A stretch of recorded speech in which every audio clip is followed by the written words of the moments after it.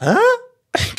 this doesn't make any sense. So, so X Men is what will bring me back. I'm like, okay, I'm now excited. If you get a really good X Men, I don't care about Fantastic Four. I, I don't care. Sorry, I don't. And you can lie to yourself all you want. You don't care about Fantastic Four as well.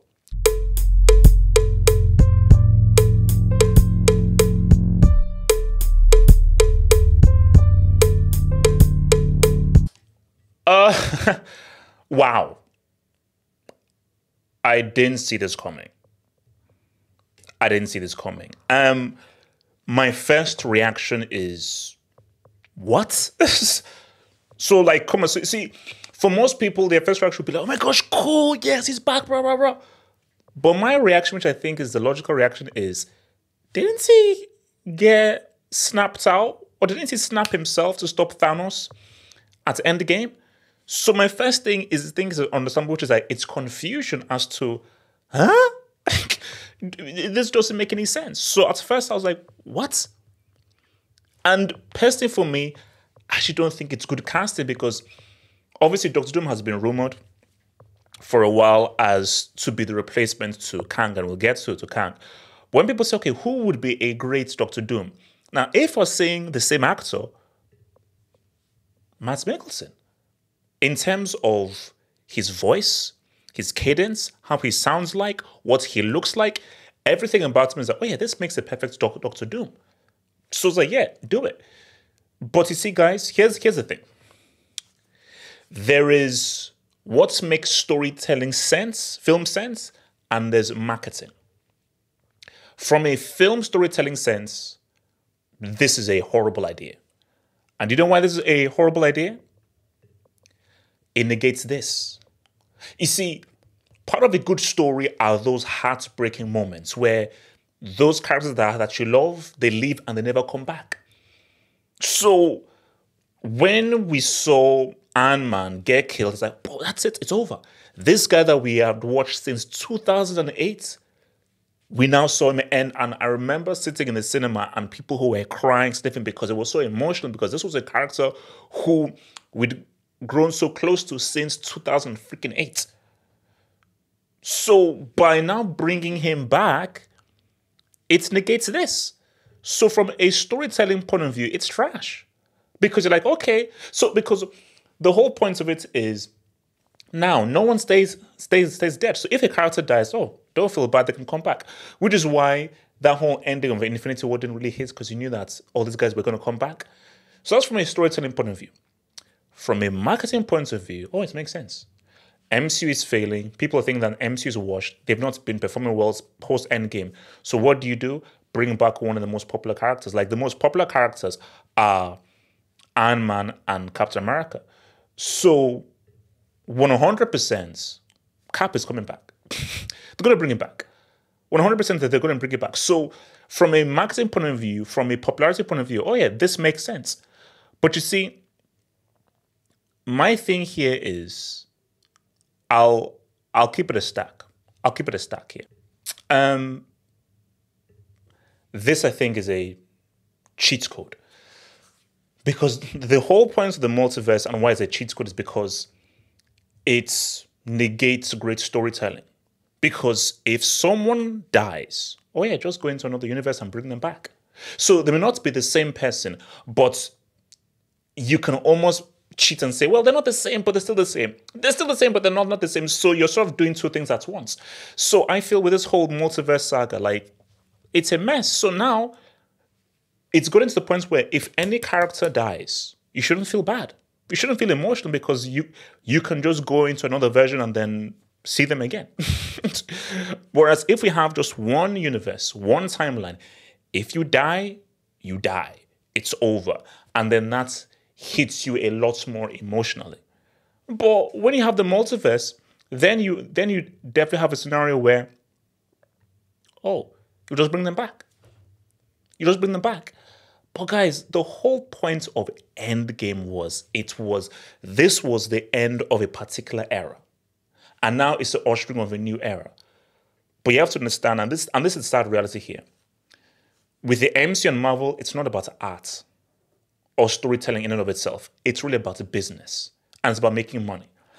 And what they've seen is post Endgame, people are not as invested into these characters as they were. So we have to bring back the characters who people loved. So bringing back Chris Evans, bringing back Robert Downey Jr. But for me, so okay, so that's so that's my first thing was okay, what? Huh? This makes no sense. This makes absolutely no sense. What the heck? So what this is and what this I think people are saying is he's a variant. So this is because he can't be a completely different character because that would confuse too many people. So what can only make sense is he is Tony Stark from a different universe. He's from a different timeline. So obviously, when he now comes into this timeline that we all know, guys are like, "Wait, hang on, what?" But no, this is a different kind of a, a, a Tony Stark. So that's where the the kind of confusion will be. And obviously, the idea is that he's going to appear in Fantastic Four. So remember, he's Fantastic Four's main villain is going to appear here. So that is where where, where it is. And Fantastic Four, guys, you know this is going to be the third time they're going to try to to do this. This is what people have to understand here.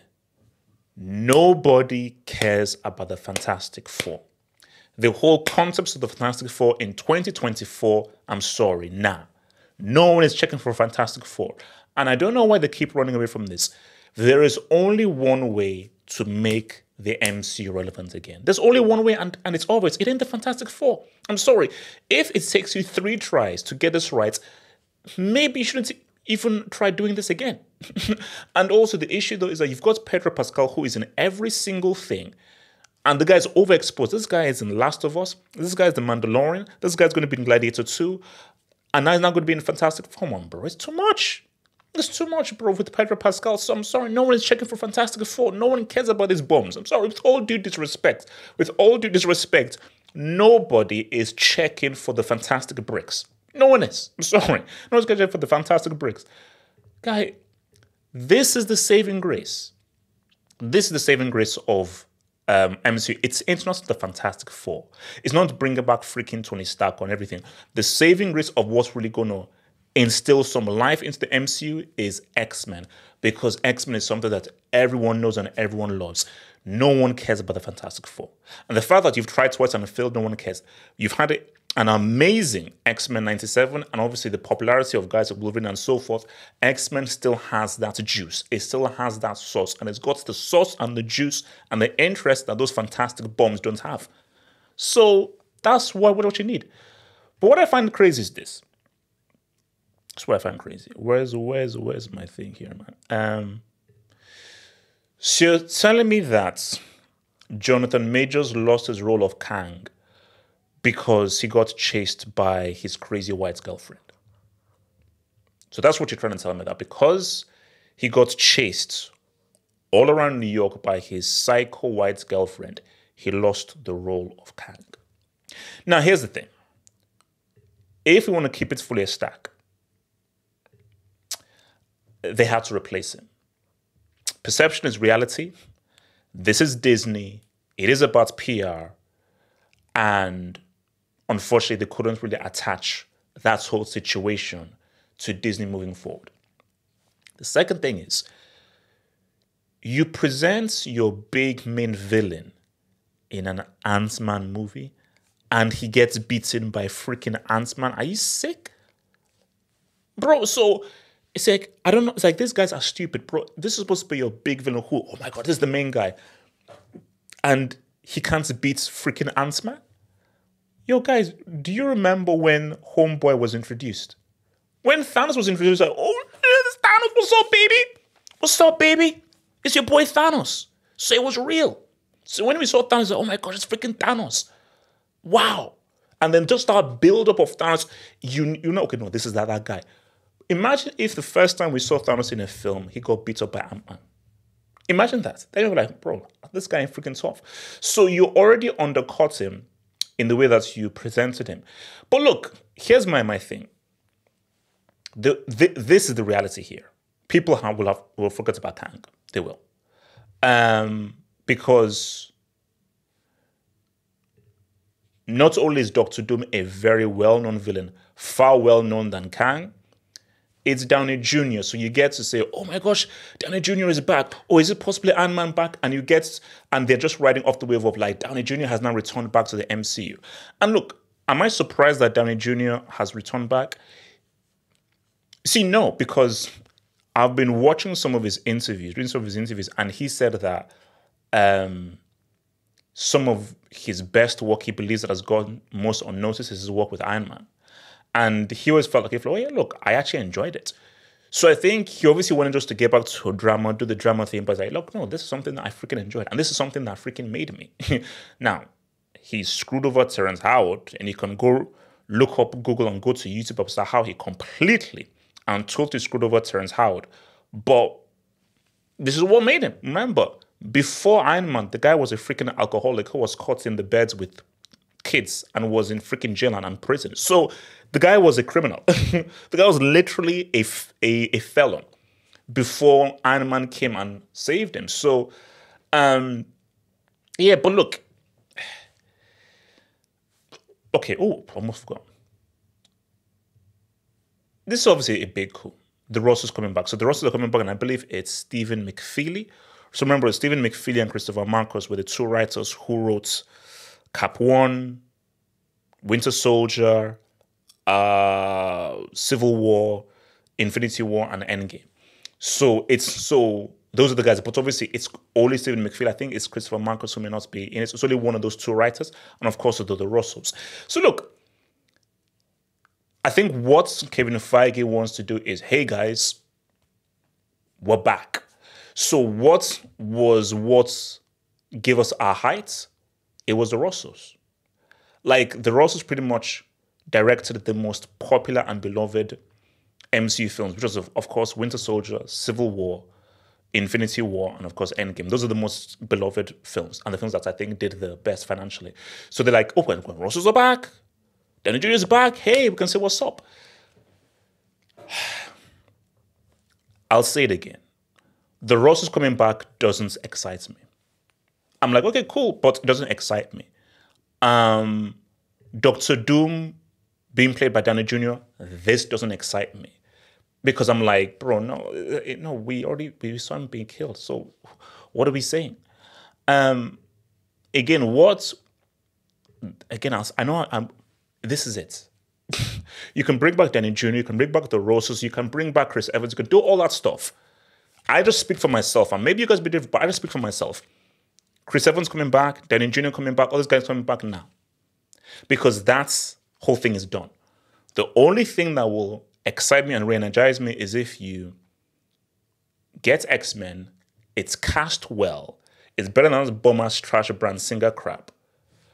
And it's like, all right, boom. So X-Men is what will bring me back. I'm like, okay, I'm now excited. If you get a really good X-Men, I don't care about Fantastic Four. I, I don't care. Sorry, I don't. And you can lie to yourself all you want. You don't care about Fantastic Four as well. You don't. I'm sorry. Lie to yourself. You don't care about Fantastic Four. Now, if Downey Jr. coming back excites you, hey, fair dues to you. But if wickets are stacked, Downey Jr. shouldn't be returning back to MCU. Chris Evans should not be returning back to MCU. The Russos, that makes sense. They're directors. You know, and they were very good. So the Russos coming back, that makes sense. Downey Jr. and Chris Evans should not be coming back. No. You should not, you should not be, be coming back. Be real with you. If someone told me the Russos are going to now be directing the next X Men film, written by McFeely and Markus, I'm okay. Let's let's see. Okay, now let let's see what's up. Now that now that will excite me. Russos, the Captain America writers, X Men. Let's talk and it's a totally re- recasting of everything, not that bombers Hugh Jackman. Let's talk. So that's my that's my thing there, man. But um,